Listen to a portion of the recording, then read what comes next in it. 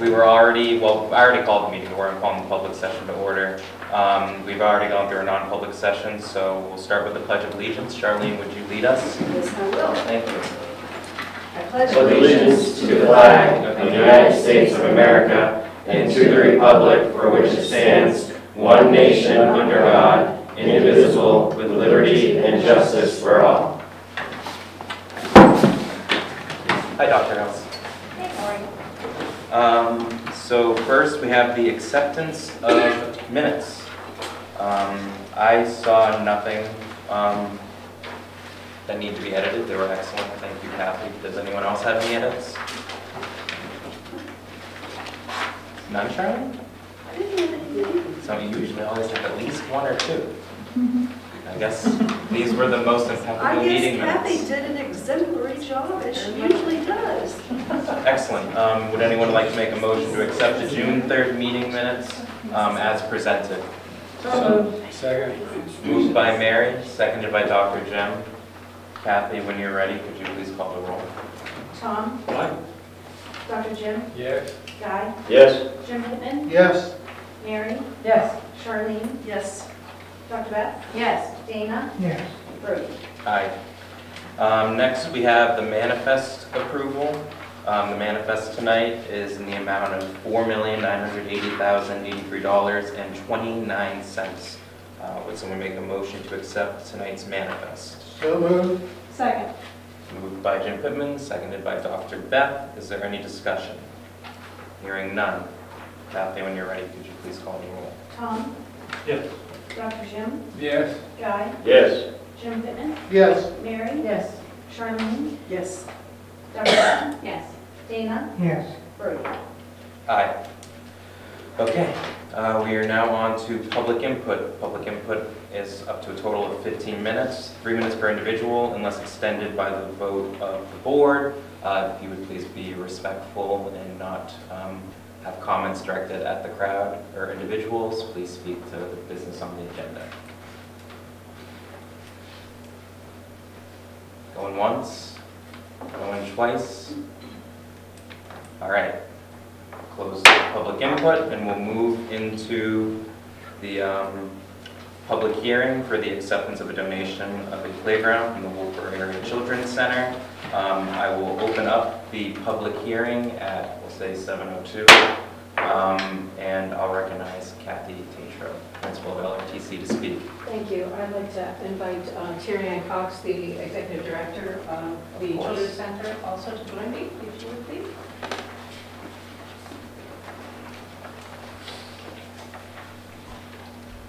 Um, Earlier this year, uh, and in previous years, we've been working together with the Children's Center to um, bring to the LRTC Magic Moments program, which is housed on the LRTC campus, part of Governor Wentworth system, um, a new playground. Um, A grant was written, uh, playground equipment has been purchased and is um, on for discussion to be accepted as a donation to the Governor Wentworth system. Um, Terry Ann wrote a letter to Dr.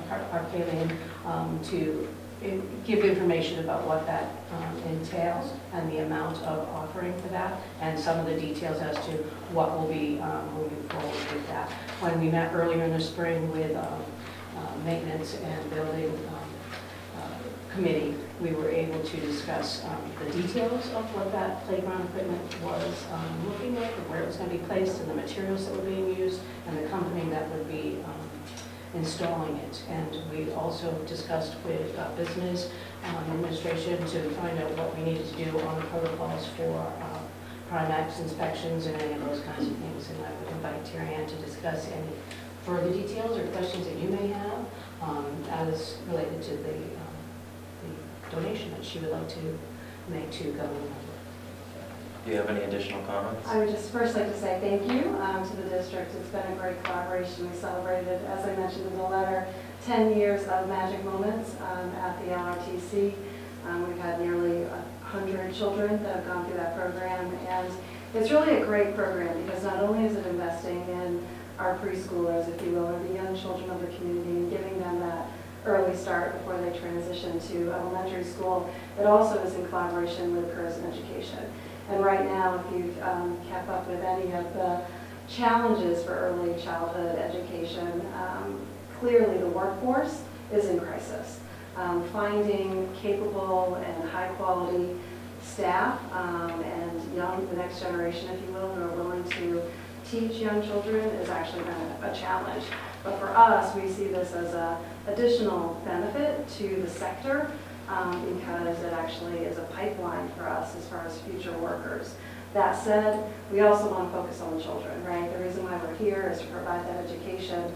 And one of the things that, not to be critical, um, but the playground is um, quite simple. Um, If you have the opportunity um, to maybe go by and look, um, there's a sweet little plastic playhouse and there's a sandbox, but really, um, we want to equalize um, all, for the opportunity for all children. In this structure um, will provide that gross motor skill um, and other um, open development for their play. And we, um, as the licensed provider, wanted to proceed forward and purchase this equipment and then, in keeping with what the letter said, actually donate it to the district, recognizing that you've generously allowed us to to be on your property. So with that um, comes the gift and the donation. We can certainly answer any questions that you have, and um, it's actually, we're excited to move forward and with that we can gain your approval. Awesome. Does anyone have any questions? Yeah. Yes, Tom? Kathy, you Always have questions, it's okay, we're here to answer them. um, thank you for your thorough investigation of the last one. Um, Do I understand it right that Magic Moments isn't simply for the playground equipment, but it's the program in which you interconnect Yes. with the children? That and careers in education. So between the Magic Moments program that is operated on campus and run through the Children's Center, we also have Careers Ahead, which explores beyond um, preschool. Oh, okay, So just to um, add a little something to this as well, um, one of the reasons why we would like to move forward with this sooner than later is that we'd like to be able to have the installation done while there are no kids on campus, while there's, you know, not much traffic back in that area. So because it will um, interfere with bus lanes if we should have to wait until later in the fall. Just like with Carpenter School. Right, and there's always a weekend that we could install, but that wouldn't be ideal because that would be quite a bit more expensive for us to um, make sure that the company that does this every day um, is available to us. Excellent. Dr. Beth? I do, I, this is wonderful. Um, I do have a question since I'm on the PTO at New Durham and we're playground on the brain also. Um, is the company that's installing going to do an ADA compliant footing as well? Yes. Wonderful. Yes. And, and that, you know, different than, of course, you've all experienced the Carpenter, that was a community build. Um, We, um, just to make sure, um, because the additional layer is, we are licensed by DHHS, Child Care Licensing Unit, and we really feel that it's better to have the company um, install and um, inspect, and then you'll inspect, but also make sure everything is compliant. I'll I'll ask to that point. I know the state has a new mandate where it can't be, um, it- it's in the letter. I missed it. Okay, yes, we're meeting the state's mandate. I know the state Yes. doesn't let us do wood chips anymore. It has to be Correct. Um, something that you can be able to wheel on or be able to move easily with like crutches and things of that nature. It's one of the questions that came up in the earlier meeting this spring, and we look forward to um, making those adjustments and Yeah. and addressing that concern. So my only question is the timeline, when, when, uh, after the vote, when, uh, when will it be ready to play on? Um, Our goal um, would be that we would install or have access to the playground area um, mid-August. I'm awaiting back from O'Brien um, that they can confirm when their uh, workers can be on site. Um, Then, of course, that would allow us about two, it's a tight timeframe, um, but two weeks to make sure that we have the proper absorption. Um, And I can also leave with Kathy, the child care licensing unit, we have kind of another layer of expectation as far as um, three to five-year-olds um, and what that, um, uh, how much, um, six inches, 10 inches, depending on material. We'll need to get all that in, and then, of course, have Primex, um, hopefully able to be on site because we would want to be able to ribbon cut, if you will, or um, on that day, that first day of school, it'd be great Yeah. if our Little Magic Moments kids could go out there um, onto the playground that first day, which I believe is September 3rd. Um, So that would be our time frame. Thank you. Is there any additional? Yes, Jim? Uh, Just a comment, because our public and those who will be watching the recording don't have the uh, advantage of having our paperwork, just like to recognize that the dollar value of this donation is $43,955. So it's. Wow.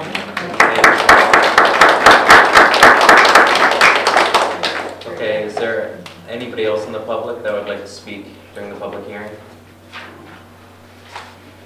Assume not, no one wanted to give public input, but I know you have strong opinions on the Magic Moments Playground. Um, With that, if there's no any other questions, I'll close the public hearing, and um, the motion, is there a recommended motion in our packet? Well, then the motion would be to accept the uh, donation from the Children's Center uh, for a playground in the dollar amount of forty-three thousand nine hundred fifty-five So dollars. moved. Oh, And you missed it. Dana's gonna second, all right, so you guys wanna rock, paper, scissors, you and Mary, okay, all right, Mary, motion, Dana seconded. Um, any additional discussion? Hearing none, Kathy, uh, would you please call the roll at your convenience? Tom, Yes. Dr. Jim, Yes. Guy, Yes. Jim Pittman, Yes? Mary, Yes. Charlene, Aye. Dr. Beth? Yes. Dana, Yes. Brody. Aye. All right, so we've accepted the Thank donation. you very much. Thank you. Thank you. Um, And no Band-Aids, right? All right. Thank you very much. Thank you. See you. Have a good evening. Um, Next, we'll move on to the superintendent's report. Um, First is the operation, authorization to suspend. We do this every year. Um, Dr. Arakelian, would you like to share some additional information? Sure. So the authorization to suspend is something that we bring to the board every summer. We have a, a page here, an original for the board to sign. It authorizes the um, superintendent um, or designees to um, suspend for a maximum up to 10 days, um, or following a hearing up to 20 days. Excellent. Um, So the motion would be to, um, Grant. do we have it in our paper? No. Okay, well then, the motion would be to grant the superintendent the authorization, the authorization to suspend. So moved. Second. Moved by Jim Pittman, seconded by Dr. Beth. Is there any additional comments, input, questions? And this is a formality, state requires us to do this every year. So, um, hearing no additional comments or questions, uh, call, yes, Dana? I just want to, uh, I don't want to assume anything, but it looks like you're going to give the principals and the assistant principals the right to go to 10 days. That's right. That's right. Beyond 10 would be to the superintendent. Right. That's right. That's, that's how we've always done it, at least since I've been on the board. Okay. Is there any other questions or clarification? Hearing none, when you're ready, Kathy, could you call the roll? Tom, Yes. Dr. Jim, Yes. Guy, Yes. Jim Pittman, Yes? Mary, Yes. Charlene, Yes. Dr. Beth? Yes. Dana, Yes. Brody. Aye. I'll sign it first, and then I'll hand it to you, Guy, and everyone will sign it. Thank you. While you're signing that, uh, the next item is school board assurances for grants. So this is so the district can receive uh, federal funds, um, and the board authorizes the superintendent, assistant superintendent, business administrator, and director of curriculum um, the um, authorization to sign assurances for all grants and request to and from trust funds. Excellent. So the motion would be to um, authorize the superintendent, we, let me do that. Yeah, so, um, you'll see at the top of this paper and the top of your meeting packet, it's we, the Governor Wentworth Regional School Board, authorize Superintendent Caroline Arakelian, Assistant Superintendent Heather R. Cummings, Business Administrator Kathy Glennis, and/or Director of Curriculum Caitlin Hills actually Dr. Caitlin Hills, to sign assurances for all grants and requests to and from trust funds. So that would be the motion. Move to grant the authority to, et cetera, et cetera. Yes. Second. Second moved by Jim Pittman, seconded by Mary Shilrick. Is there any additional discussion? Brenda, your name's misspelled. Oh, the shades, we missed The the signature A. line. We missed the A.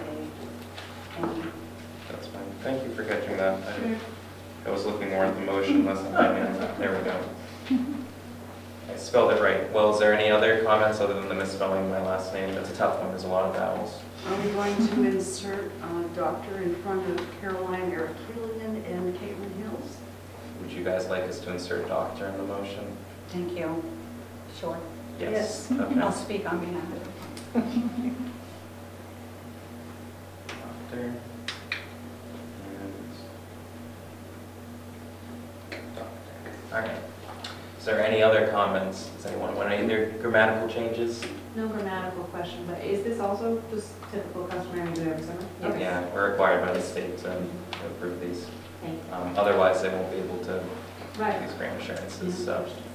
Um, Hearing no other questions or comments, uh, Kathy, when you're ready, could you please call the roll? Tom? Yeah. Dr. Jim? Yes. Guy? Yes. Jim Pittman? Yes, Mary? Yes. Charlene? Yes. Dr. Beth? Yes. Dana? Yes. Brody? Aye. Thank you. Excellent. I'll sign that, and then we'll do what we did with the last one. Pass around more. You'll notice, Dr. Beth, this meeting, this is the first one after July 1st. It's a lot of clerical things that the state requires us to do because their fiscal year um, begins July 1, so, I'm asking from the novelty of my experience. yeah. Um, Next is authority to hire. So you'll recognize this from the last meeting, um, now that we are having this meeting tonight and not a scheduled meeting in August. Um, I'm bringing this proposal to the board again because um, we have two months until the next meeting, and during that time, we start our school year. So it is especially, um, would be especially helpful um, to grant the superintendent the authority to hire.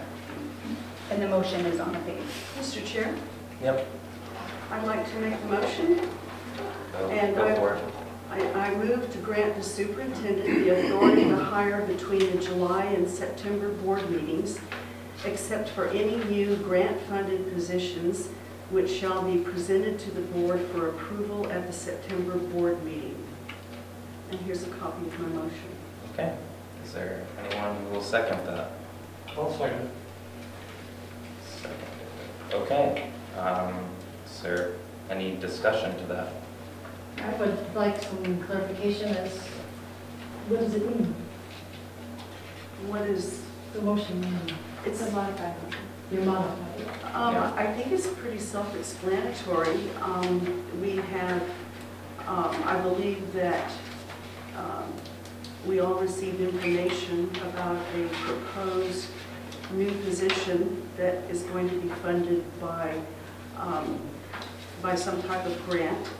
And, um, it's my understanding that this position will be, um, very much assisting the director of curriculum in various things, and um, since it's a new position, which is grant-funded, those historically are presented to the board for approval prior to, um, you know, hiring.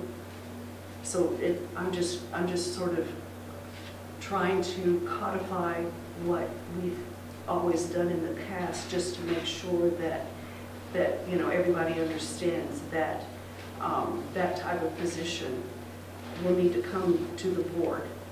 Um, And I would presume that Dr. Hills would make a presentation um, as she, as she did um, during COVID, when we were using ESSER funds for a new grant-funded position. So that's, does that seem fairly clear? That's, and when you called me about not specifically the motion, I didn't anticipate the motion, but when you called me about your concerns with this grant funded position, I agreed I would be more of a mediator in the situation after discussing with the School Boards Association. That's okay. Um, So Dr. Arakelian, I assume she, you have a difference of view on, on this, so. Yes, I'm happy to um, share some information on the position. I haven't been asked about the position to date. Um, However, um, and I can share a few things. First, the requirements to um, share with stakeholders vary by grant. So for the ESSER grant, we, uh, for all districts, we're required to um, put everything out to our stakeholders. In fact, we still have an ESSER 3 survey out for, um, for those funds. And that is, um, that was a very specific um, uh, uh, requirement for the ESSER grant. So for this district, the math coaches, the curriculum project manager, all of that definitely had to go to the board and to the community. The position that I believe you're referring to here, we have a position, it was just approved by the state, um, I believe in June. Uh, It's for an assessment coordinator. So this is a, a new position that um, uh, the first and foremost uh, require, responsibility of this position is for assessment. It's the first um, goal of the academic achievement section of the strategic plan that was just approved in March. Um, The other um, very important uh, responsibility of this position is to help um, us move to a new learning platform, Infinite Campus, next year. This was just finalized in the last couple months.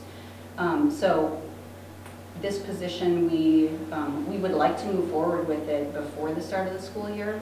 Um, It's not typically, so, and using Title II-A funds. So using Title II-A funds are- is not something that typically goes before the board, but um, if that's something that the board would like to um, vote on, you could vote on that tonight. We could hold a special meeting within the next few weeks if you'd like to learn more about it or ask more questions about it.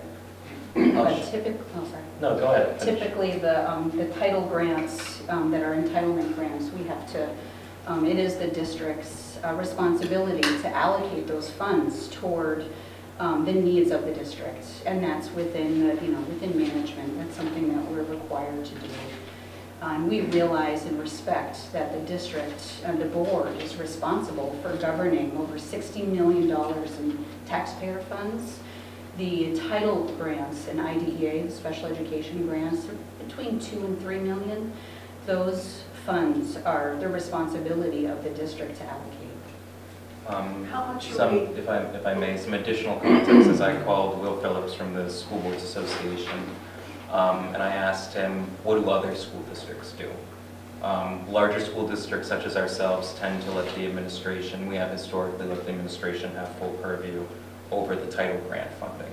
Some smaller school districts, their superintendent, because their title grant funding is a lot smaller, and they might have, you know, a smaller board, and they might meet with their superintendent more often, they might only run one school, they might explain the entire budget and have it approved yearly by their school board, or may approve it uh, after the states approve it, after the State Department of Education approves it throughout the year, you know, slowly allocate that money. So um, if the board wants to change the way that we deal with these title grant funds, it would be changing an existing precedent, um, but it's not unheard of, but it is not typical of a district our size with this many students and, um, you know, with this much title grant funding. When I talked to the School Boards Association, they said usually the best way for the chair to deal with this being the liaison between the board and the superintendent when there's a disagreement over something that's a legal gray area is I'm going to try my best to act as a neutral arbitrator. So I'm going to abstain from the vote, but I'm going to try to hear both sides and facilitate the conversation. Maybe there could be some kind of compromise or, um, or the board, I mean, if a majority of the board agrees with Charlene's motion, then that's what it is. But I think also is you think the board should be more involved in the allocation of title grant funds. Is that correct? I, th- I think that we need to um, make sure that all of our district stakeholders know exactly what this is going to be for. And I don't think, I'm not sure if Dr. Hills is prepared to make a presentation tonight, and it, and a presentation by her was not on the agenda. So I'm not sure that that's something that um, could be adequately addressed tonight in a public meeting. And I also know that for two years in a row, after, after we brought to the attention of the SAU the fact that prior to asking the taxpayers to pick up the 115,000, or I think it was around 115,000 for the curriculum project manager, including benefits, is that correct? That's what I have in my um, mind, I think that's about right. Including salary and benefits. Um, We, two years in a row, did not receive um, any kind of, of justification once the grant money ran out. And so what I'm trying to do is, is proactively, um, you know, provide the taxpayers the ability to find out more about this position and also for the board to find out more about the position. And I know based on emails we had received from Dr. Hills and Dr. Eric Helian, um, giving us this information, I know that there was in those, in the list of, of duties for this, whoever this individual might be, um, there was mentioned um, some of the same kinds of activities that the curriculum project manager was in charge of, of accomplishing, Yeah. specifically competency-based education at the high school. And so, um, I, I just feel as if the public needs more information, and I, and could I find out how much we're talking about, how much grant money? Because once the grant runs out, then we would be in the same position of having to ask the taxpayers to pick up the funds to continue the position. Okay, well, yeah, if you want to Thank answer the you question. for asking yeah. that question. I've not been asked that question to date. Um, We are at, we plan to have this position for one year. This is for implementation of a learning platform um, that will take the year next year. It is for um, reporting and assessment, and that is due next year according to the strategic plan. So it's Title II-A funds. This is not something that taxpayers are responsible for. It's from a federal grant. Correct. Correct. And how much are we using from that It would depend on the salary, which is not something I have at this time. It depends on where the person qualifies for their salary. So is it going to be someone who is in WIA so that the- the salary would be determined by track and step? It would not be a GWEA position. A letter contract. Yeah, a letter contract, because it's a So- one-off. So it'd be similar to um, what the SAU personnel have? No, it would not be an SAU administrator level. No. We would look at other letter contracts, which are positions that are not covered under a CBA. For, for everyone's clarification, Sure. are we treating this like a contracted service? No, it would be an employee of the district. It would still be an employee of the district? Okay. For So- one year under Title II-A, which is So- not usually to the board. Okay, so it'll be an employee of the district, but not subject to any of the CBAs? Correct. And you don't know how much, Because that would be a personnel question. We would have to um, look at what's fair for that person based on their experience.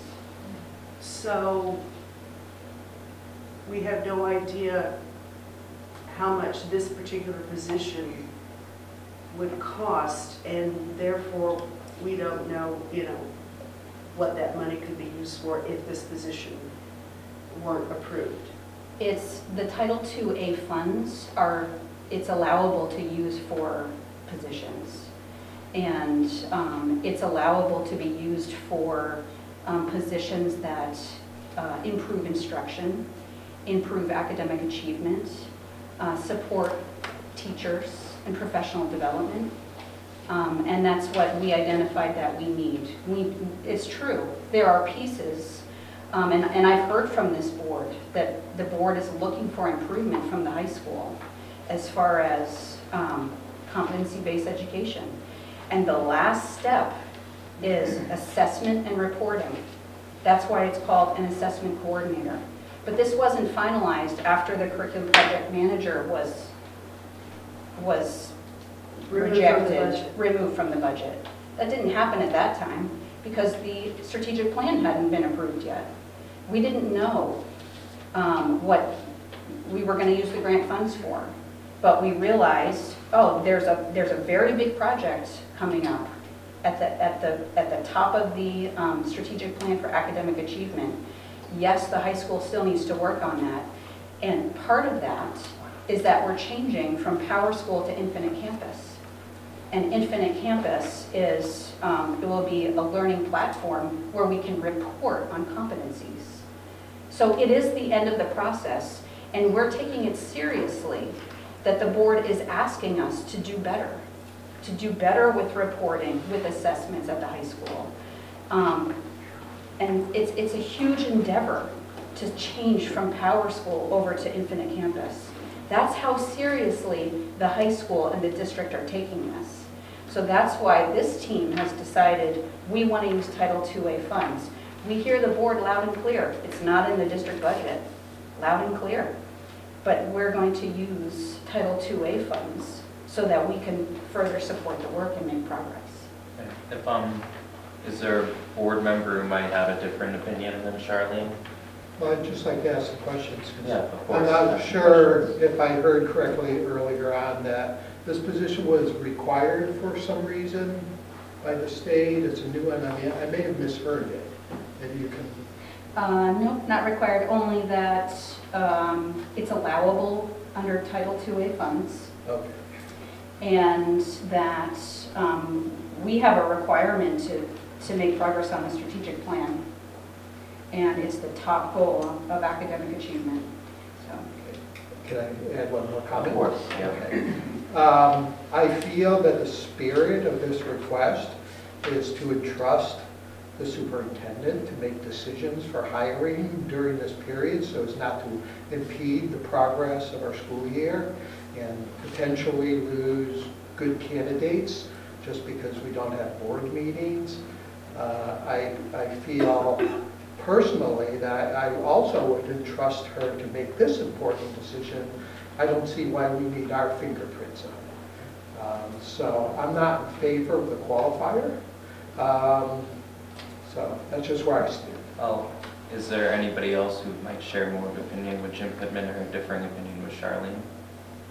Is it, is your opinion the same or different as Charlene's?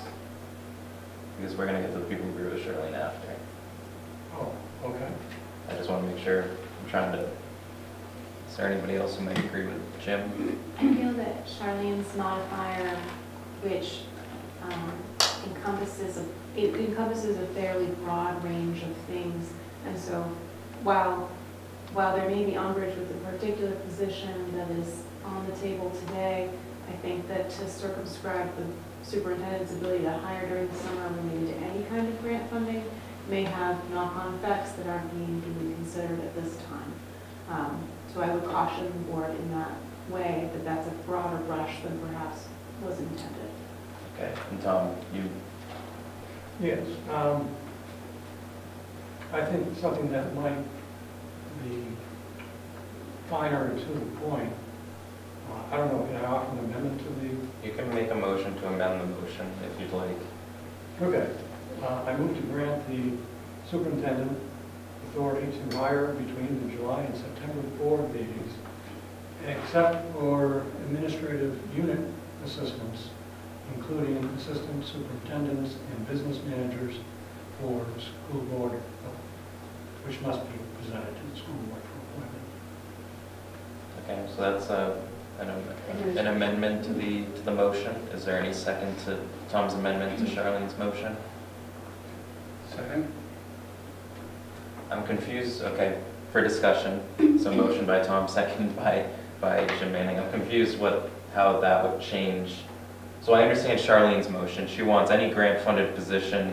New It's not, position. yeah, any new grant funded, so any newly established position that's grant-funded, you think that there needs to be presentation at the September meeting and the board will approve it then? Yes. Okay. So Tom, what are, what are you offering at this point that would be different? Well, I'm assuming that the position will be an assistant to um, Dr. Hills. Oh, I see. Um, no, it will not be an assistant. It will be, um, a standalone, pos- certainly they would report to Dr. Hills. So the title is assessment coordinator. I agree, okay, I have a better. I understand your motion I better. understand. So you, you don't think that, you want to make it so then there has to be a presentation on anybody who's hired to be an assistant to the administrative staff that you listed, so that would be superintendent, assistant superintendent, curriculum coordinator, or director, curriculum director, and the business office, Yeah. office manager. Okay, Um, And that's, um, but the super, the Rule. superintendent is holding that this is not an assistant to any of those administrative positions. They But report, is it?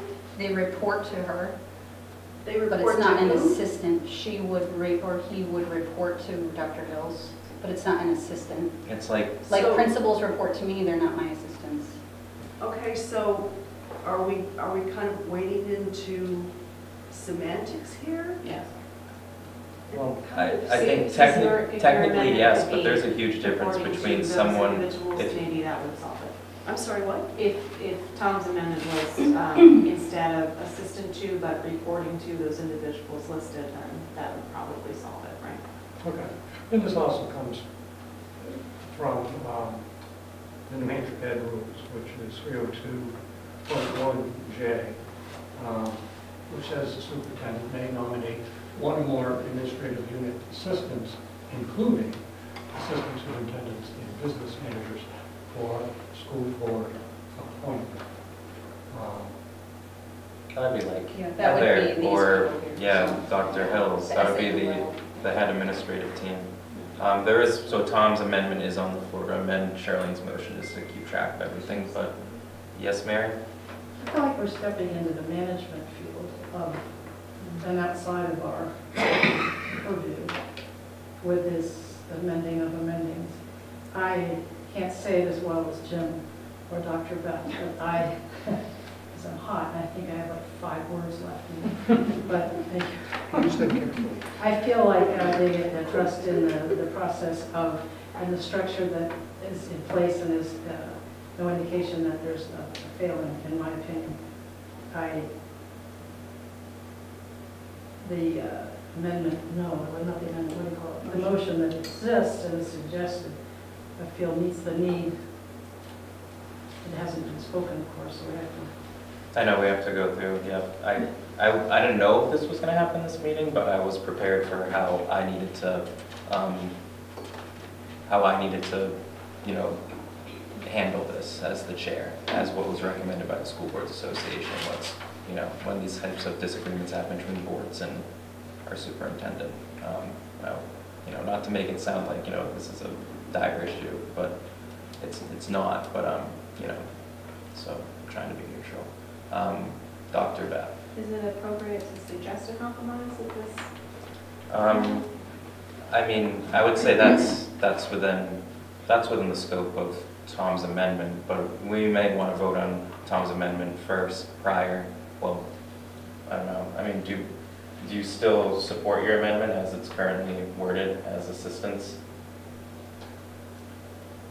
I do, if Dr. Beth wants to amend it, I'll I, I would prefer not an amendment on top of an amendment, it might be easier to withdraw a motion and hear what Dr. Beth has to say if you would be willing to. I'm You don't willing- have to, though. I'm willing to withdraw my motion if it can be replaced by something that accomplishes the- basically the same thing, which is trying to prevent what happened with the curriculum project manager. And it is difficult for me after two years in a row. You know, the, the first time I chalked it up to, you know, maybe a rookie mistake because you were new.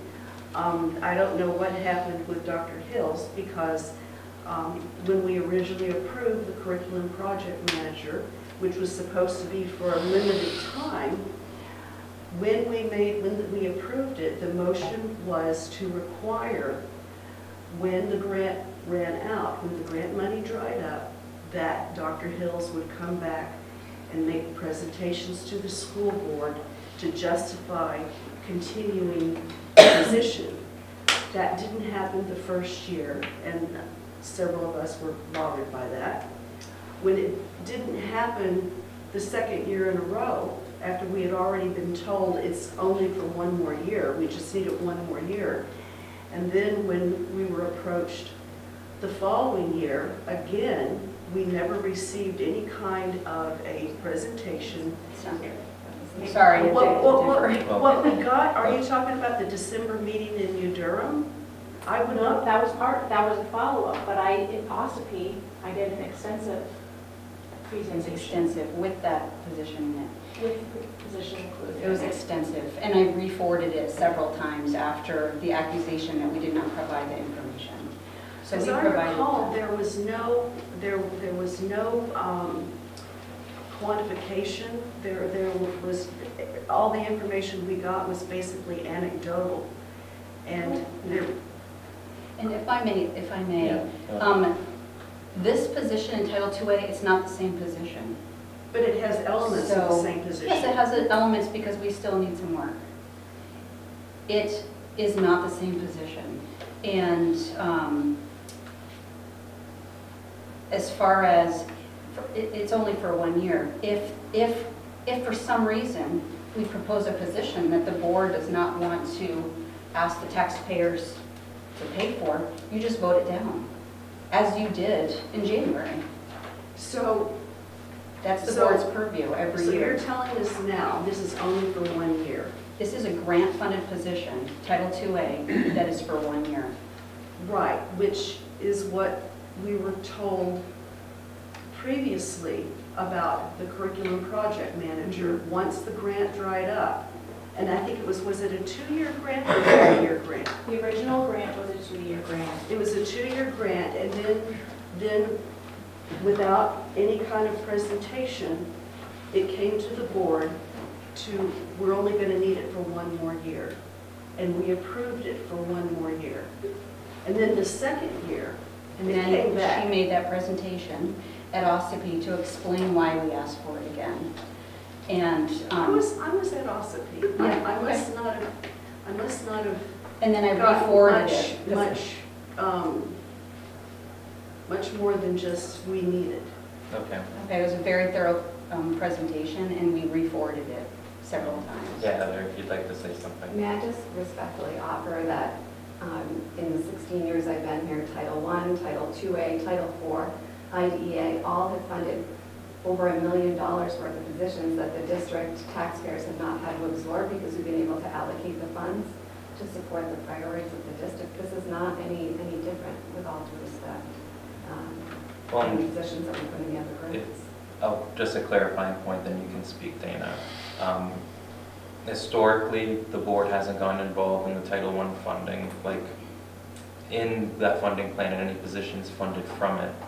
Um, Unless there is a mixture of our public dollars, sometimes there can be a mix, my understanding, and that's sometimes, you know, if it's, if it's our property taxpayer money that, you know, from our regular budget that supplements it, you know, then, then we would get involved in posting the position and hiring. But when it's fully title funds, we haven't been involved. But, so really, I think the question I'm hearing here is, does this board want to be involved in title funding and improving those positions of title funding? Is that an expectation we're going to set for administration? And the administration would find that to be onerous in them being able to do that job, but some board members are arguing that it's, you know, they want increased transparency on that. So that's what I'm hearing. Am I, am I incorrect in hearing that? That's, that's her motion. Well, I mean, that's her, but I think that's the crux of it. People want to be more involved in these grant-funded positions, not just grant funding like ARPA or other grants that we get are a mixture of our property taxpayer money and title grants, but even the positions that are solely title grant funded. It sounds like there's just an interest in blocking this one position. Okay, and that's. That's what I'm hearing, not an interest in being involved in title funds. Okay. Is that? Would- Should, should I would you be more cons- specific with, with, um, uh, what are we calling this new position? I mean, I, I, you know, if we want more job It says description? Assessment coordinator. Ooh, It's in the Title II-A. board has a policy that the superintendent is responsible for job descriptions. Before we get to your comments, Dana, we probably should vote on Tom's amendment. Um, What was that again? Tom's amendment was essentially your motion, but amending the, the, um, the requi, the prerequisite that it would be no grant-funded positions that are assistants to any of our head administrative team that's in the room right now, which, But that suggested a different, some different. Reporting to instead of assistant to. It's the well, same- we, she didn't make a motion I to didn't. amend My addition. my motion said adminis, um, it's Assistant. except for administrative unit assistants, including assistant superintendents and business managers by school board appointment. Um, Cap, then we got into the semantics of whether uh, an assistant to an assistant of the board uh, would fall underneath. Well, Dr. Arakelian and none of these professional staff are our assistants, and the people who, they supervise professional staff weren't their assistants, right? I mean, Correct. so Kathy, Kathy is not an assistant, she's a, um, office, what's, what's- Business administrator. she's a, business. a, For which one other are you Kathy, other? Kathy. Oh, sorry. Yeah. Yes, administrative assistant. You just had a job I don't promotion think that's briefly the there. RSA. But, but like, so, Two Kathys. The way I'm hearing your motion is it would prohibit them from hiring Kathy, which we've never been involved, I don't think, in No. the hiring of Kathy. That's usually solely within the superintendent. Right, I'm not seeking not to. um, But I your think that's- motion, Specific person. your motion is written in a way that that's how I would interpret it. Mhm. And I think it's a very reasonable way to interpret it. So I, I think we should have a vote on Tom's amendment first More discussion, please, on, any other. well, I think, Because we piled I would on to- prefer us to get back to Charlene's underlying motion, because that seems where But if we most vote of the on discussion Tom's, if I is. understand correctly, it renders null hers. No, well, it would amend her motion, but it wouldn't pass. We'd still have to vote on the motion. Still vote on her motion. So we're voting on Tom's amendment of her motion. There could be another amendment. There could always be another amendment. I, my, I, I just need to say, and I apologize if I'm doing this out of some kind of order, I don't get how this improves that which is written, You can make it- or, or clarifies, or sharpens, or whatever, I don't see it. I, I don't hear it.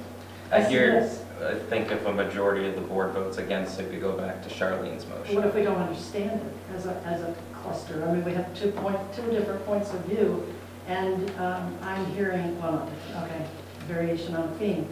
I, I completely paid attention to the assessments and uh, that which was presented, um, the- the valuation, and maybe it's my perspective as an educator, and it just comes kind of naturally. There it is, I see it, and I understand it. It just feels like we're muddying the water and maybe down the road, we're gonna have to change it again. So I'm just trying to facilitate because we're still at an amendment and we need to eventually get to a I motion. I understand, I just So don't we- wanna, I don't wanna expedite something that doesn't deserve expedition. No, I'm not trying That's a to, big word for when you have. I'm not trying to expedite this process, I'm trying to facilitate. So if we talk about an amendment for the next two hours, we'll never finish our meeting, we won't even finish the motion. So I'm trying to get us back to the regular motion, uh, to some motion for us to be discussing, or even to change additionally. So um, I would, I would, I think it's time for us to call a vote, at least on the amendment, and either So vote we yes can't, or the no. other two people who've been wanting to speak. Well, I, yeah, Just as a point of order, yeah, I believe your motion should be voted on first, because actually Tom is amending your motion, and we haven't voted on yours yet. no, Tom was making a motion to amend her motion. So we would vote on the amendment, and then we would vote on the under, whatever the motion would be after voting on the amendment. So if we voted on the motion, there would never be an amendment, because then we would have made a decision, and that would have been the board's decision. So Tom wanted to change Charlene's motion because he wants to vote on a different motion. Could I, could I get some clarification from Tom? Yeah. Um, Beth had made a suggestion that you change the word assisting or assistance mm-hmm. to reporting to. Would you be okay with that, that Okay. change? Because I think if we, adopt your amendment to my motion, it basically renders my motion moot. Everyone If you, if you heard Dr. Eric Cummings said everyone reports to her as a superintendent.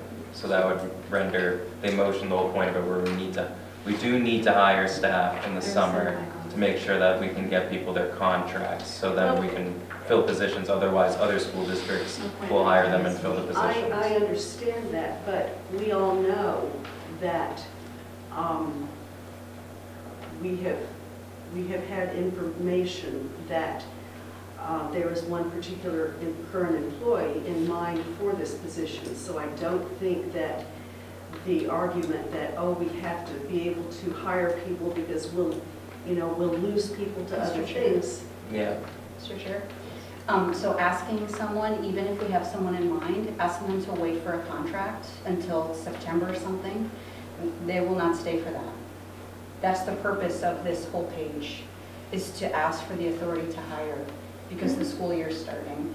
And if, you know, we have candidates who are educators, um, if this board decides to vote against that position in September, they are very, less likely to gain a, a position that starts halfway through September. So, um, So you're saying you, if I'm understanding you correctly, you're saying that the one particular position that um, has caused some concern, given its similarity to one that the board voted to take out of the budget, um, you're saying that, um, that you don't feel as if the district deserves a, a a description, a, a full report of what this is and why it's needed, other than just the brief bit about we're changing to a different kind of assessment? Um, you said, I'm sorry, from, what was it called, the school thing to? PowerSchool to Infinite Campus. PowerSchool to Infinite Campus, is that a, is that a, a- a- is that a software program for educators? What is that? it's all of our grades going in, all of the grades, attendance, information, All reporting, all the student information. And why are we switching from PowerSchool to Infinite Campus? Because Infinite Campus reports out on competency-based education, and PowerSchool is not equipped to. We had a committee all year looking at this, and we've come to the point where now we're ready to change. So it is not a replacement for curriculum project manager, but yes, it does dovetail into that work that we've been asked to improve at the high school. And, and no, to your question, I disagree with the premise of that question, that no, the district doesn't, I don't think the district deserves or is, um, is, has the right to information. I disagree with that premise. I would not say that. Um, We are open to meeting with anyone, including board members, to community members, anyone who would like more information about grants. I meet with people every day. I met with the director of the new charter school today. I meet with people about grants, about positions, about budgets, all the time. So we're, we're an open book, and we want to share that information with whoever is interested. But to block a position or, or hiring to September um, is sabotaging the effort.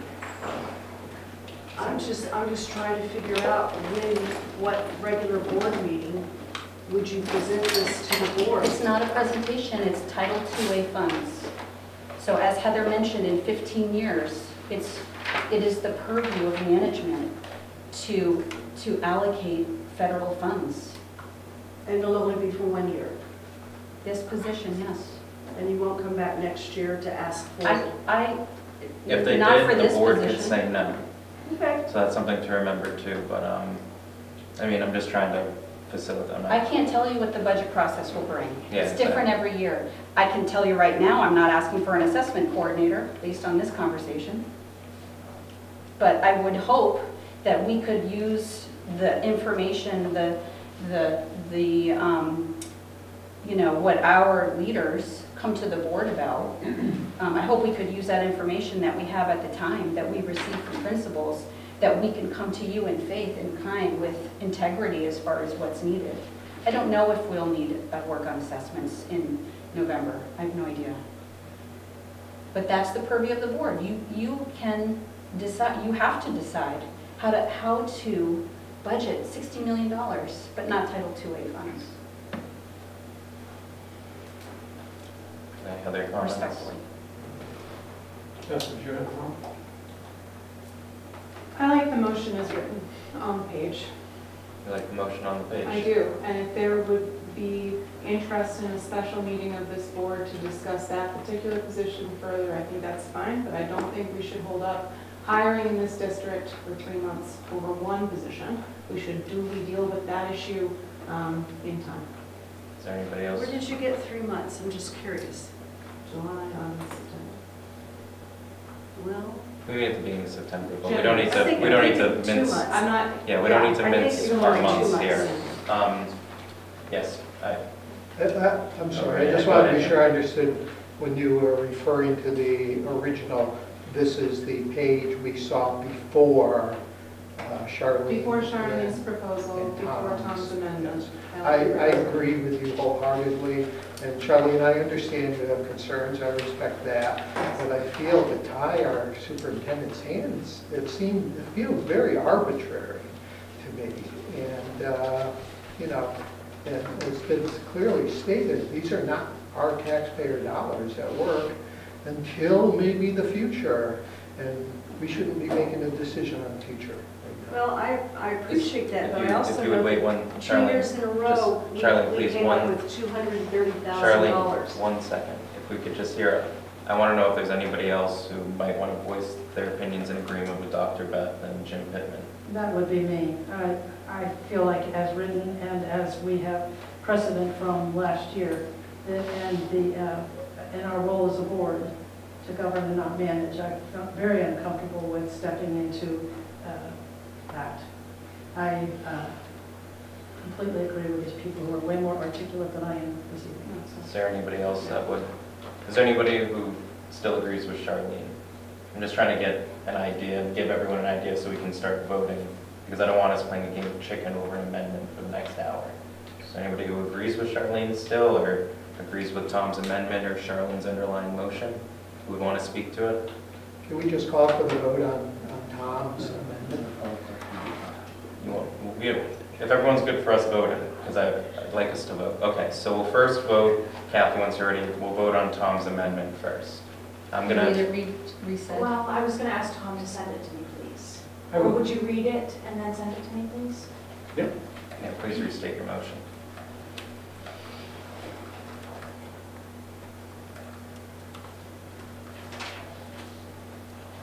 Uh, First part is the motion as standard.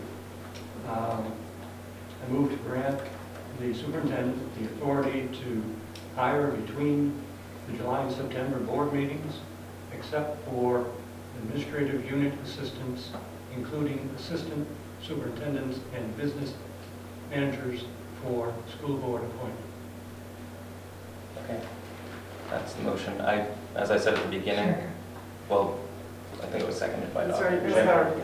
Um, So it was motion by Tom, seconded by Dr. Jim. I mentioned I was going to abstain because I'm trying to be neutral here. Um, So I'm trying to be the best liaison I can. I can see it's got a little tense, so, you know, we can, we could, I know it's hot in here, but if we could stay, you know, respectful as we finish this up, that would be really appreciated. Yeah, apologies. All right. Um, When you're ready, Kathy, if you would call the roll. Tom, Yes. Guy, Yes. Jim Pittman, No. Dr. Jim, No. Charlene, No. Dana, Yes. Mary, No. Dr. Beth. No, And I abstain. Okay, so Tom's amendment fails. So now we're back to the original motion of Charlene's. Charlene, would you restate your motion? Oh, you got a second. I move to grant the superintendent the authority to No, it hire wasn't, the between... amendment failed.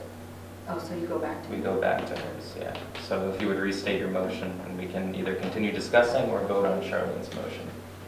I move to grant the superintendent the authority to hire between the July and September board meetings, except for any new grant-funded positions, which shall be presented to the board for approval at the September board meeting. So that was your motion, and it was seconded by Tom, correct? Did you second that motion? Yes. motion? You seconded that motion. Is there any additional discussion on that? There's a lot of discussion on the amendment that I think falls under the purview of this. Um, I don't know if Charlene's motion, if that will change anything based on um, what just happened with Tom's motion.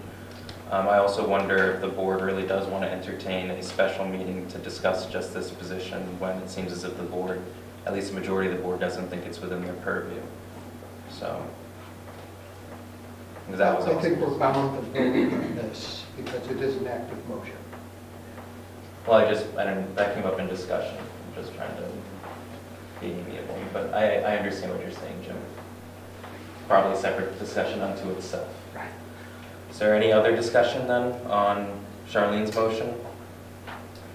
Hearing none, if you would call the, uh, the roll. Guy, No. Tom, No. Jim Pittman, No, Dr. Jim, No. Charlene, Yes. Dana, Yes, Mary, No, Dr. Beth, No. Brody. And I'll abstain again.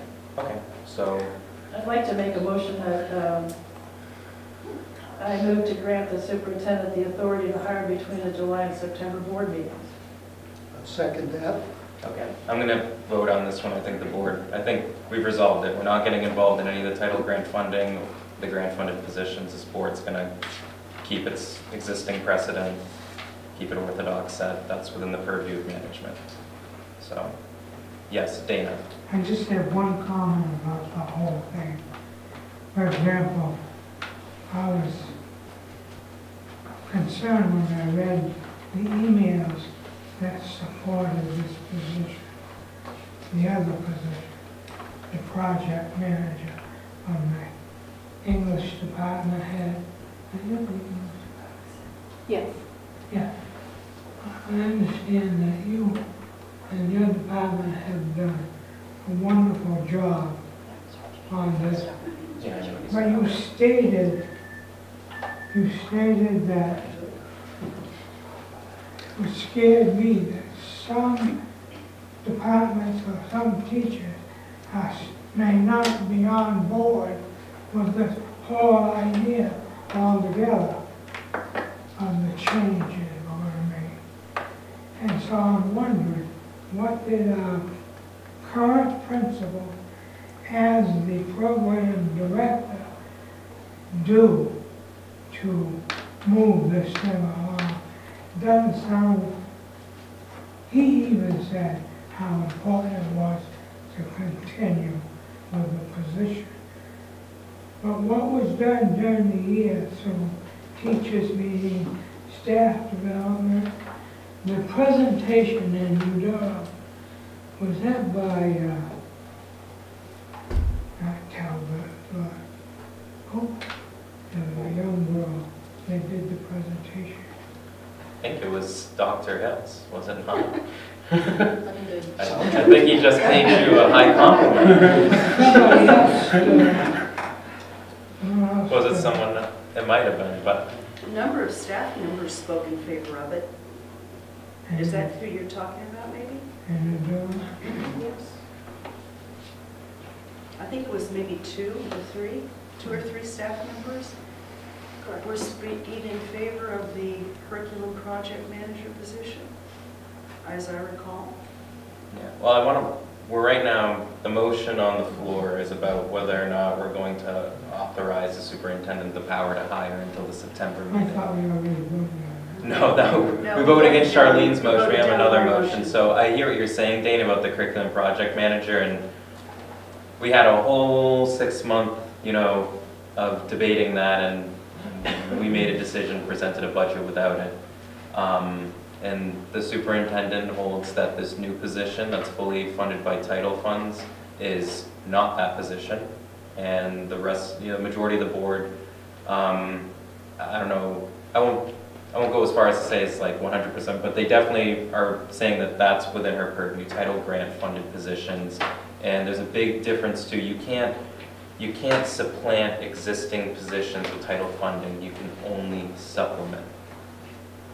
So that's the other thing, the state wouldn't have approved it if it wasn't a new position, is what the School Boards Association um, explained to me. So if the state has approved it, then it's a different position than the curriculum project manager. So we're not, you know, I don't want us to go back into the curriculum project manager, you know, discussion. We've had that discussion and made that decision last year.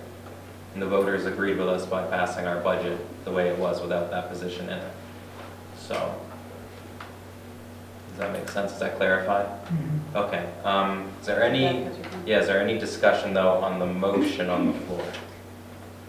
I don't know if this is the right time to ask about a special meeting, or if you want to talk about that. No, later. that would be after. We're, Good. we're, That- the motion, we can authorize the superintendent the power to hire until the September board meeting. It's a yes or no question. I'm gonna call the vote. Is everyone good? All right. Kathy, when you're ready, could you please, uh, call the roll? Guy, Yes. Tom, Aye. Jim Pittman, Yes, Dr. Manning, Yes. Charlene, No. Dana, Yes. Mary, Yes. Dr. Beth? Yes. Brody? Aye. Okay. Um,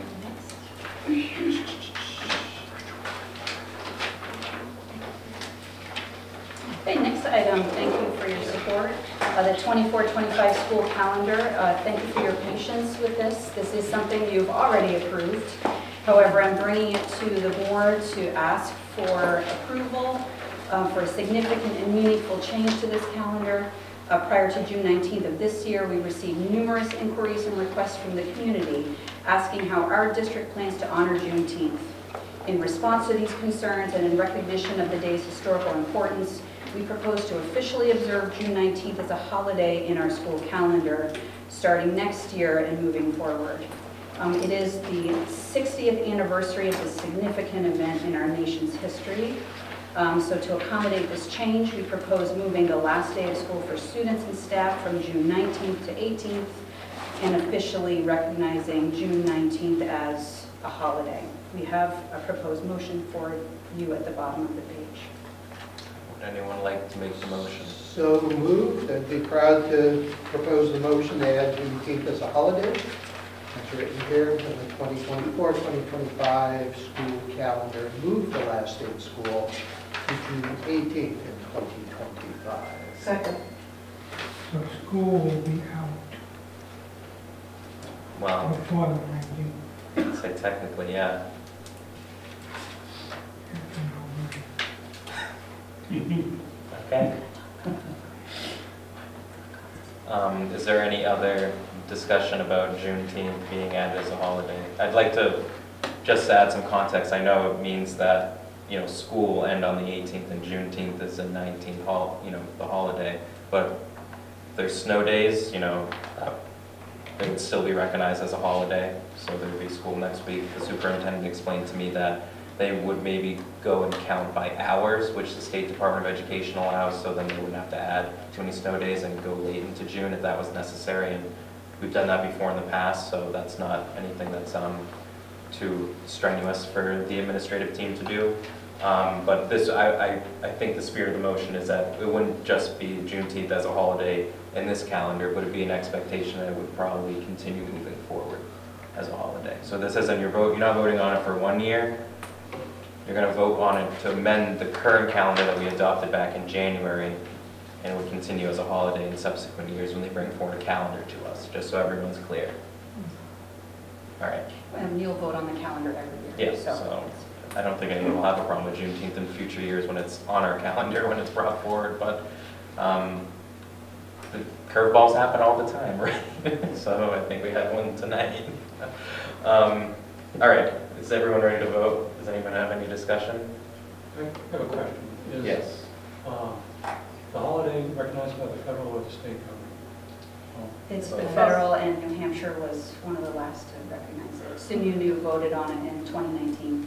Very good, thank you. I know our library um, does all federal holidays, and Wolfeboro, I should say. The Wolfeboro Public Library, our, we provide all staff, and we close the library on all federal holidays, unless staff want to work. Sometimes we'll have some staff that say, I'd like to work on a federal holiday, so some have worked on Juneteenth, some haven't, but rather than the option of doing a holiday, so it's, um, it's something that a lot of municipalities or different town departments throughout our district are starting to recognize, so.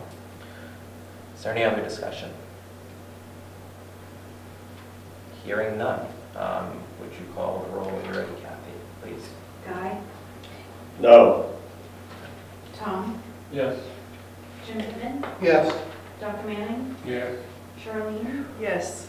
Dana, Yes, Mary? Yes. Dr. Beth? Yes. Brody? Aye.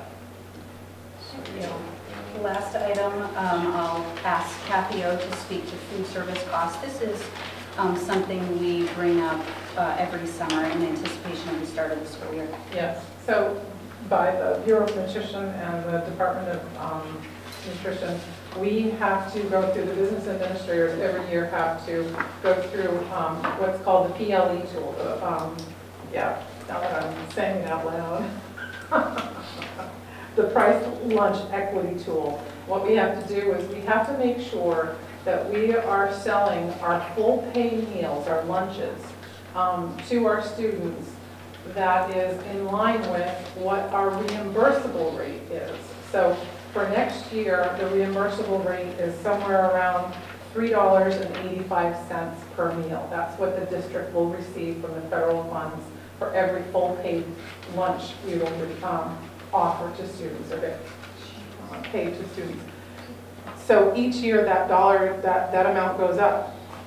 We have to keep trying to be in line with that. We are not there. So right now, so every year I do come to you asking to raise the price of lunches. This current year that we just finished, the elementary school lunches are three dollars. And the high school, the middle school and high school lunches are three dollars and fifty cents. So right now, that is what's called a weighted average of three dollars and like I said, for next year, it should be up around the three dollars and eighty cents. The federal government and the state wants us to move that number up, or the district can pay the offset. I believe that I'm just, I'm asking to raise both prices, uh, the elementary lunches and the middle and high school lunches by 25 cents each. The previous year, we, we increased it about 20 cents each, so I'm requesting that we have elementary lunches at $3.25 per meal, and um, the middle school, high school at $3.75, which will bring the weighted average up to $3.46, which is up from 321, but still not at the 380, which is okay by the federal government. It shows that we're moving that direction. Okay, so, Yeah. so I, I'm quick sorry. clarification, if I may, this, this would be, these would be the prices that would be charged the parents The slash full pay, students. right. Full pay. The full pay. yeah. Okay, thank you. Um, let's have, well, do you have a question or I is a do. comment? Uh. Do these prices address the special needs of the children who identify as animals? Because human food uh, often is poisonous to animals, and we know we have those Guys, kinds of We don't, we don't have kids that are, no, I'm sorry, I'm- we, we're not feeding kids animal food, kids aren't, Even though they identify as animals and wear their Halloween costumes to school. to my knowledge, that's not the case in our school district. Well, I know for a fact that it. It's been verified by administration and staff, and I want to know, yes or no.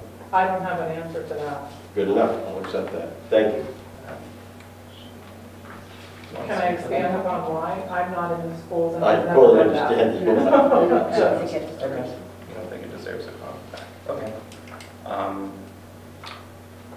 I'll say, I mean, I, I'm a little taken aback by the comment, Guy. I think, um, you know, I think our, our professional staff who I've spoken to have said there aren't litter boxes in our schools. Kids aren't trying to eat, you know, kibble or, you know, cat food or dog food. And um, I've yet to see, even just walk around public in Wolfeboro, uh, you know, whether it's walking or seeing kids walk around town, any kid be dressed like an animal. And I haven't um, heard about it. I've heard people say they've heard from someone, but, you know, that's just, um, you know, Obviously, the good reporter doesn't reveal the sources, but they are there, and no one is forcing them to eat dog food or cat food or anything. I'm saying, if they're animals, should they be treated that way?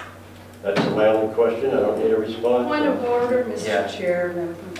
yeah, we can, We can move on. okay. Is the motion to increase the price for elementary school to three dollars and twenty-five cents per full cost meal, and for the high school, three dollars and Middle school, high school. Middle school, high school, three dollars and seventy-five cents? Correct. That would be the motion. Someone make make that motion? So moved. Is there a second? I'll second that. Is there any additional discussion or questions? Yeah, Question, question. Get the balloon out. I hate it. I hate that we're charging kids more for lunch than this.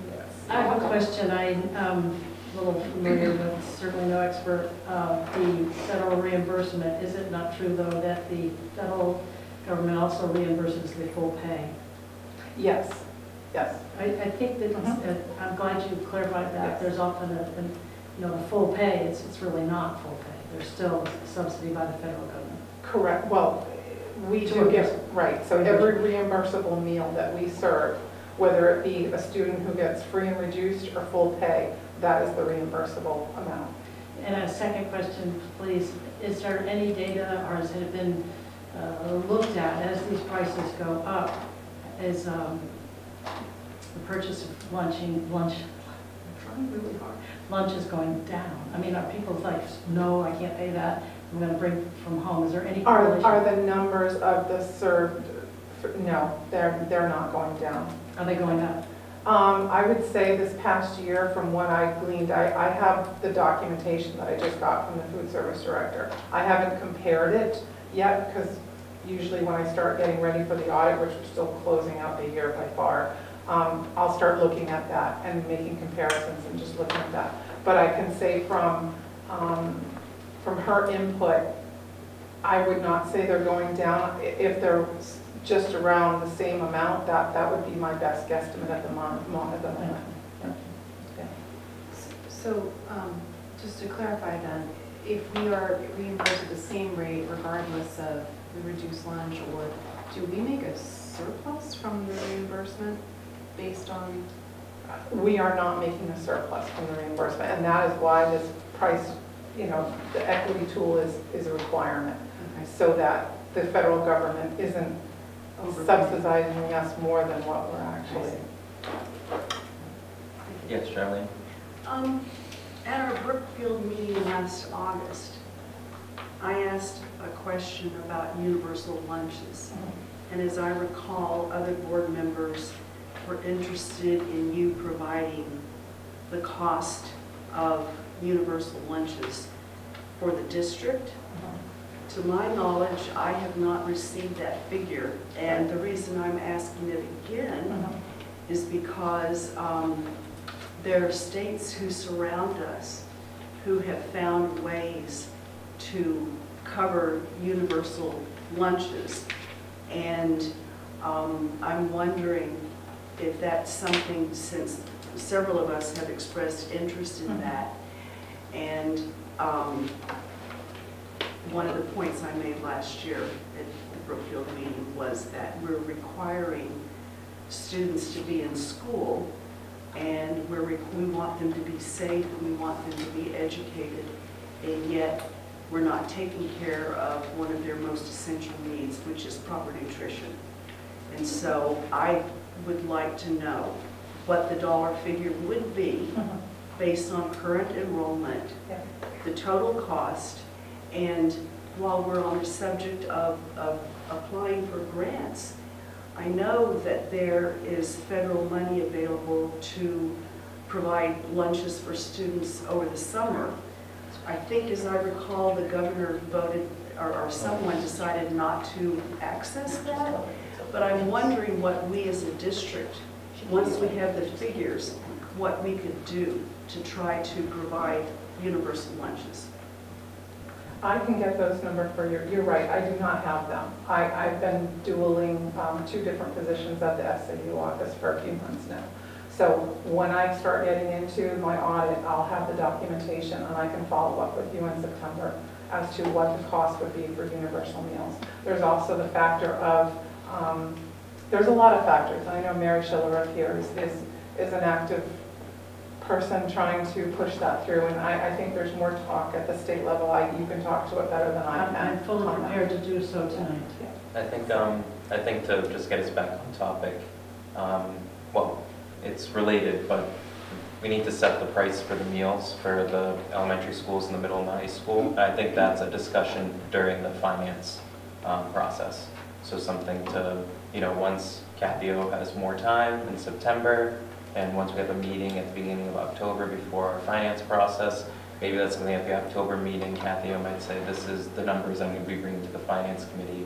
And you guys are welcome to discuss these numbers and as the finance committee reviews these Right, things which is and what I, as considerations. which was why I brought it up Yes. last August in anticipation that it would be brought forward during the budgeting process last fall, and it didn't happen. So I'm just, you know, this is just my gentle reminder Talk that, gee, could we, you know, look Oh. into that. I think um, I- it'll be something that the finance committee uh, will consider to review. Um, Will be an ongoing discussion, so, you know, maybe we discuss more at our next meeting or at our October meeting. And you had information? When it's appropriate, I will share. Okay. Well, um, we have a motion on the floor to increase the price of the full cost lunch in the elementary schools to 25 and for the middle and high school to $3.75. And the motion was made by, was it you, Jim? No, I think Dr. Dr. Manning. Dr. Manning. I Dr. seconded Manning, it. and you seconded it. Okay. Is there any other discussion on the substance of that motion? Hearing none. Uh, Kathy, would you call the roll? Guy, Yes. Tom, Yes. Jim Pitman, Yes. Dr. Manning, Yes. Charlene, Yes. Dana, Yes. Mary, Yes. Dr. Beth, Yes. Brody. Aye. Okay, That Thank you. concludes my report. that was Thank you. a longer report than. You know, sometimes. I I think it was, we Didn't made mean your be. report longer. Didn't mean to, yeah. Yeah. Thank you for all your support. Um, Next is the chairman's report, so correspondence. Um, The district expressed sympathy to two staff members, Um, and we have the Hampshire School Boards Association Delegate Assembly that's coming up on October 19th.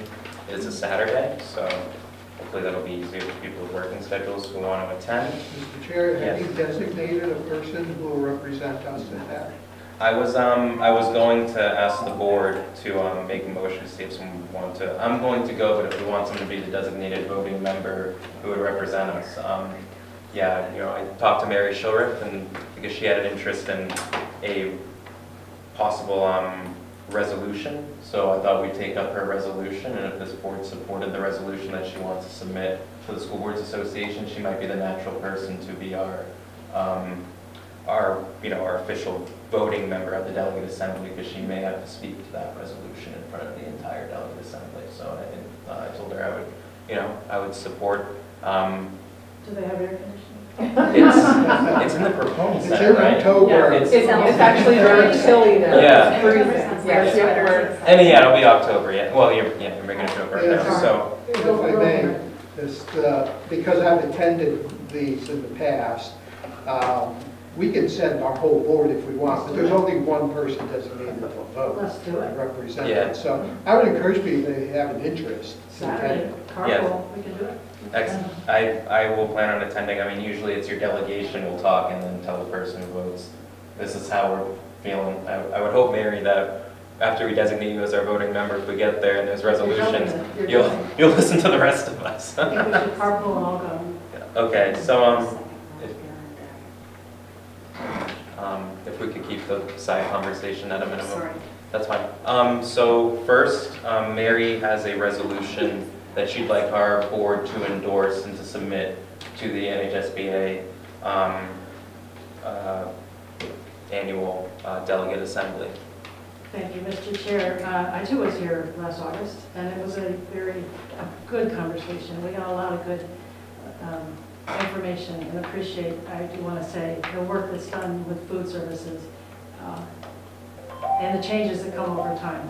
Thank you for that. And uh, it- note for me at least. I I spent a lot of time on this. We all know about the states that surround us. Uh, We all know that it's possible for what I don't like to call universal free lunch.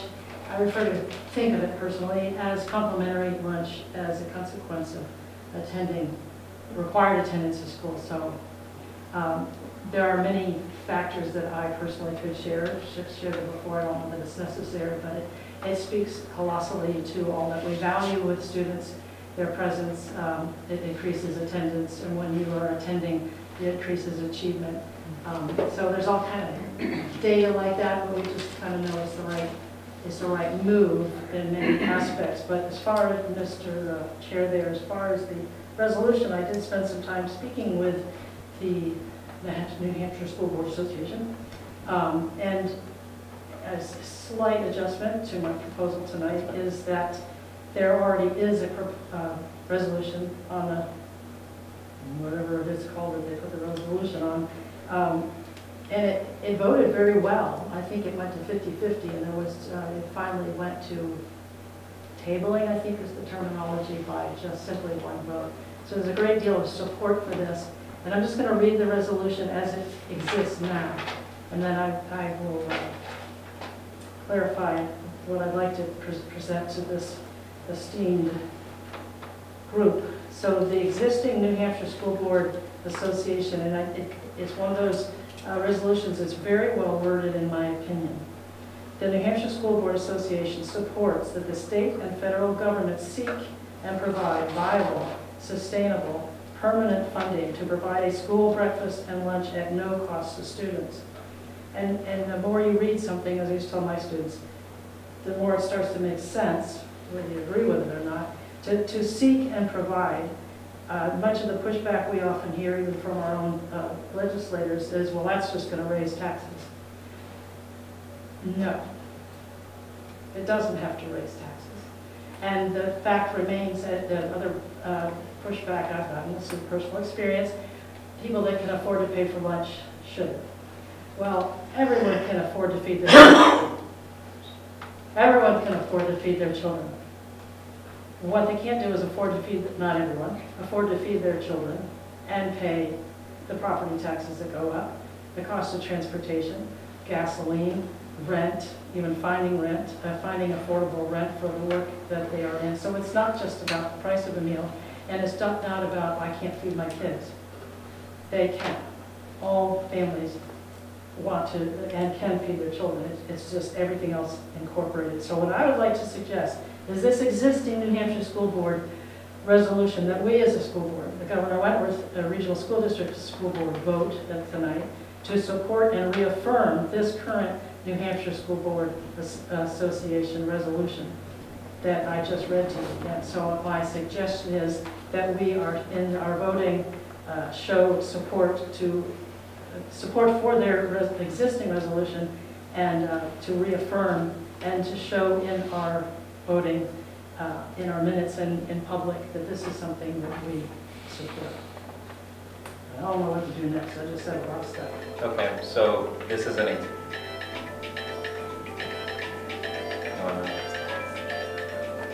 Got a lot of things going on. So actually, I do have, I move, is that sufficient to say it that way, Mr. Chair? Um, I move the Governor Wentworth School District Well, I I guess I had a clarifying question, sorry. Um, Is this an existing resolution that's been adopted by the delegate assembly? Correct. Okay, And the, the. um, so you just want to support the delegate assembly's existing resolution Correct. that already states the New Hampshire School Boards So we as a school Association board, yes, are. agree with their existing position. Correct. So you can make that motion, sure. I mean, yeah, that's fine. Um, This is based on guidance that I got hot off the presses yesterday. Uh, So I move that the Governor Wentworth Regional School District School Board vote to support and reaffirm the current New Hampshire School Board Association resolution, which reads, "The New Hampshire School Board Association supports that the state and federal government seek and provide viable, sustainable, permanent funding to provide a school breakfast and lunch at no cost to students." I'll second that. Do you need help, Dr. Jim, with this? Because Can you turn the volume down?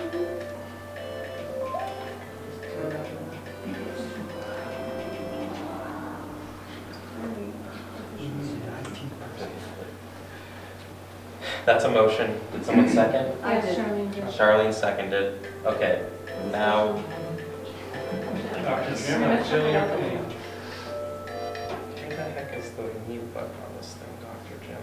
Come on, man. Why does it not have one? It's an Apple product. It's gotta have a volume. There we go, I got it.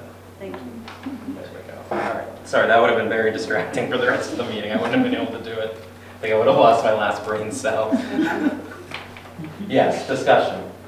No, very quick question. Does that resolution have a reference number of any sort so we can be sure we're addressing? Uh, I, it it went, um, Brody, I think you, uh, Mr. Chair, you sent uh, the resolutions um, in an email to this group. All I know- I sent it to you Oh, that's because right. you, when you Well, asked me, I uh, said, sorry. this is how they write the resolution. I don't even know which Yeah, resolutions were in To it answer your as- as a question, sample. I, I do not know the specifics, but I can certainly get, it's number two on the page, that's what I did. Well, It probably doesn't matter really, but if you had it. I would be glad to uh, forward that to everyone. Is there any other discussion or questions?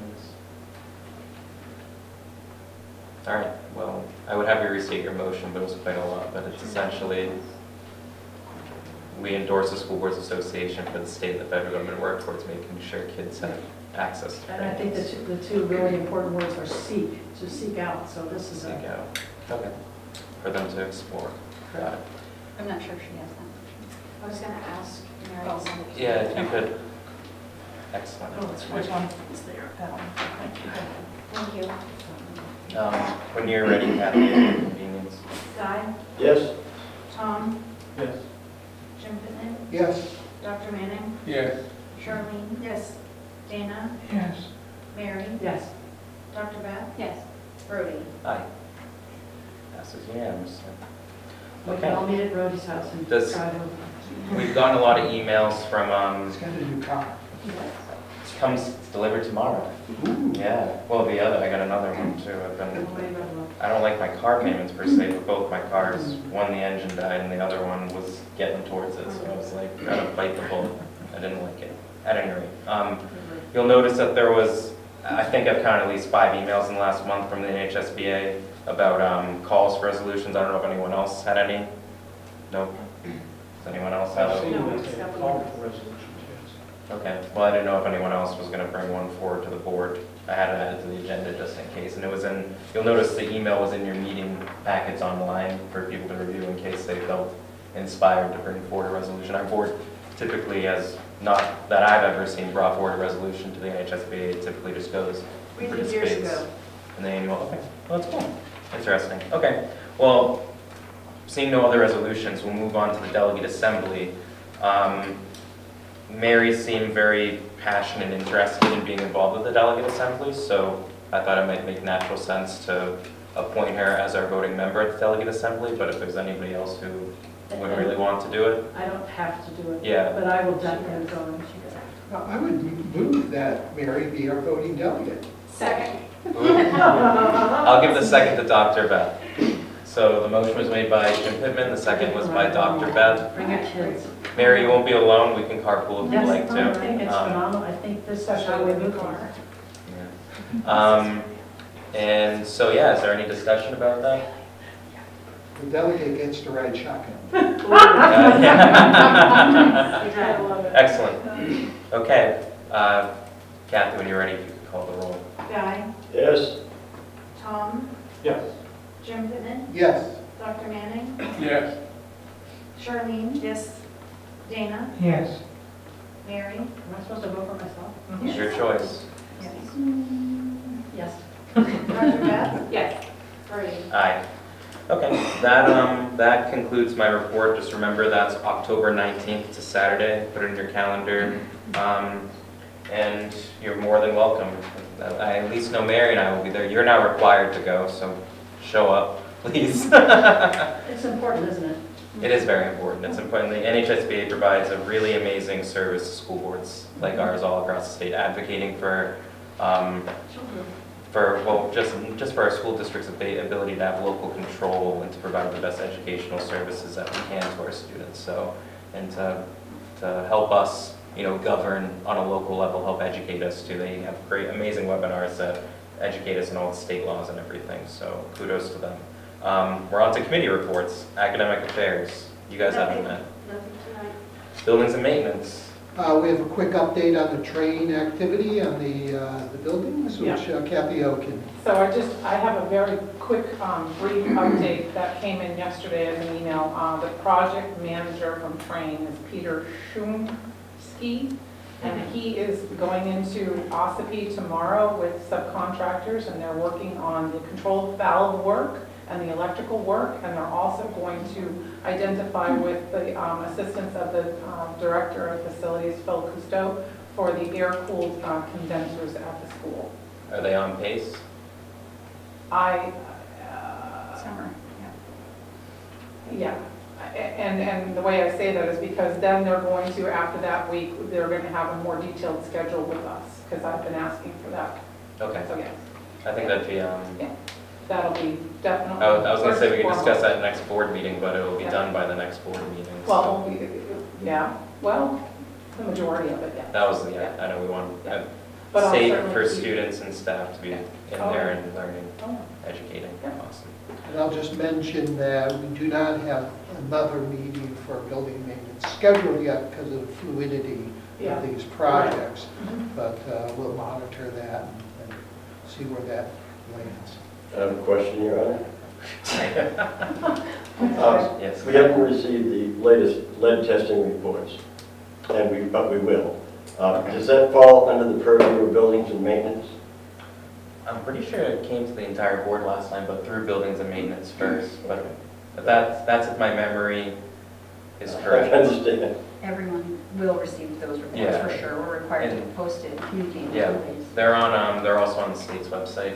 in all so- our schools. I know the most recent, the ones we have are, but we haven't got the latest ones yet. And it's been talked, of the remedial actions have been uh, noted, and just since I want buildings and maintenance, I I took an brought, interest. I brought it up last year too, that, uh, you know, Thank you. make sure that we're doing that. Mr. Yes. Chair, um, is there still lead in any of the pipes at Ossipee Central School? I'll defer to, I'm sorry, I don't know that information at the moment. I mean, if, obviously, we're in compliance, and if we're not, we're working to be in compliance. um, Yeah, the report is posted on, uh, every lead report is required to be posted on every school website. And with that report, it's from the, the third contracted party. Yeah. Um, With that, the um, assessment lists every water Yes. um, faucet, Faucet. spout, everything in the whole, in every building.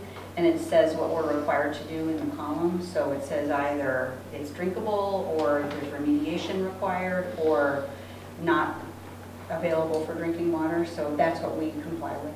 And, and so if I go to the main website, the main gwrsd.org, then I can just go to an individual school and then I can find those Yeah, results? Absolutely. Yeah. It's on every school. Sarah Awesome. Sarah Cousteau posts those yeah, the moment she gets them, and she sends, she's extremely well-versed and extremely articulate and communicative with all the building principals, because the reports from the, um, from the third party, the, the company that does the testing, that's certified and and licensed, um, sends them to her, she sends them immediately to the, to the principals with the actions that are necessary. She follows up with the custodians and the principals to make sure that if anything is supposed to be, you know, Xed out and not used, that sign needs to be there um, and stay there until it is uh, rectified and retested and okay. So there has been um, very much a lot of communication going on with that, so I, you know,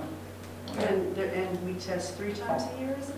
uh, I don't know the frequency, the, we meet the requirements, let's, let's put it that way. So, and, and there are time, time stamped and all like that, so it's, it's, yeah.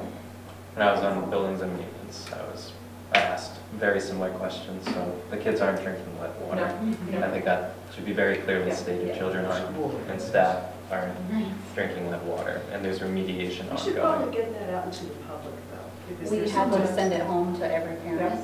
Yeah, And so we did that. Every time there's testing, we're required to send it home to parents. And on, and on the, post. on the website, yeah. And even on, on bulletin boards in the school as you walk in, so.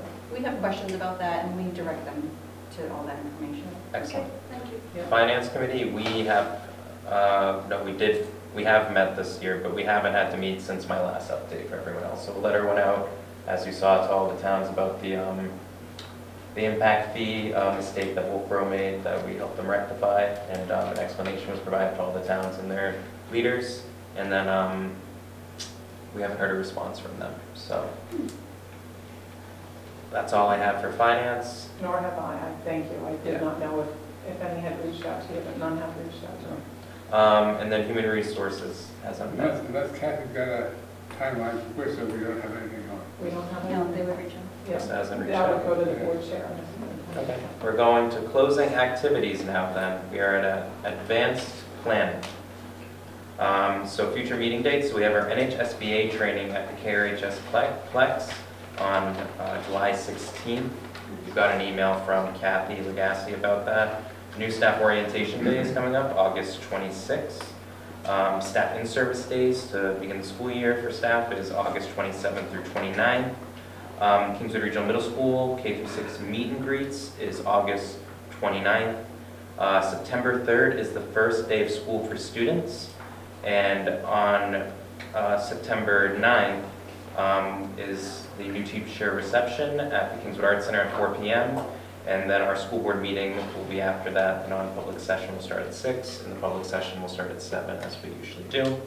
Um, And you can always go to the Governor Wentworth uh, Regional School District calendar at gwrsd.org backslash calendar to see additional events or if the calendar changes. And with that, um, we will now enter into our last round of public input, 15 minutes total unless extended by a vote of the board.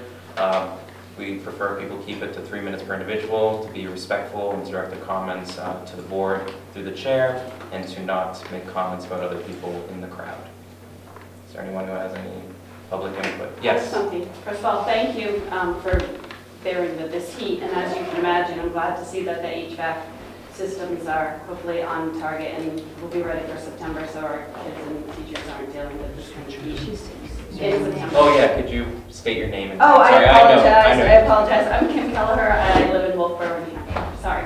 Um, The question I have is just a clarifying one, and Kathy, maybe for you. Um, Is it about lunches are going up, but is there any impact on the breakfast, cost of breakfast? No, No, no, just that's not even a requirement either, believe it or not. They all base it on the lunches, Okay, all paid, full paid only. okay, thank you, I was just curious. Thank you. Is there any other additional public input? Yes, Yes. Go ahead. excuse me, I'm cold. My name is Ruth Puff, I live in Tuftonboro.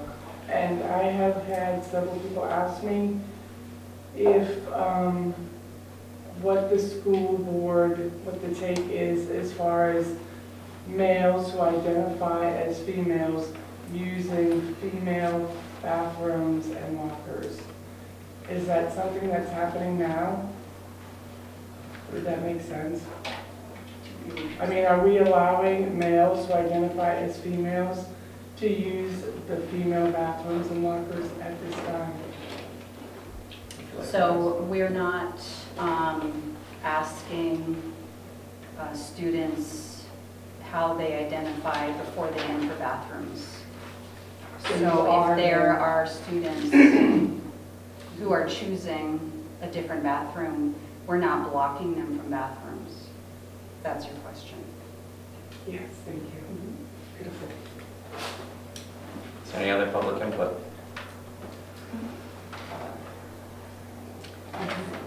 Seeing none, I will close public input and um, I'll seek a motion to adjourn. Excuse me, other business, please? There is no other business. I have some. There, It's not it's not on the agenda, guy. An agenda review was earlier. I would have added something to the agenda when we did agenda review, but there's no other business. Had I known about that, I would have posted. Uh, Well, next meeting, um, or you can definitely call me before the next meeting and let me know what you want to add to the agenda and we can discuss it. No problem. Excellent. All right, Just real quick, I just want to thank Brookfield for hosting us. okay. Yeah.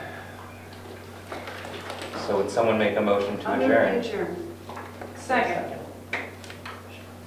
Motion by Charlene, seconded by Dr. Beth. Is there any discussion?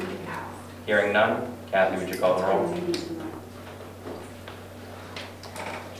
Guy? Yes.